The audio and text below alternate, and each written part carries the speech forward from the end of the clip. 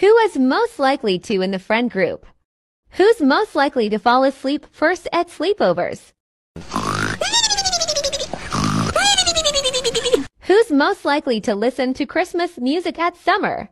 It's beginning to look a lot like Christmas. Who's most likely to become a millionaire?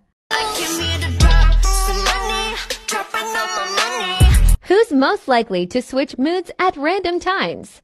I'm joy. This is sadness. That's anger. This is disgust. And that's fear.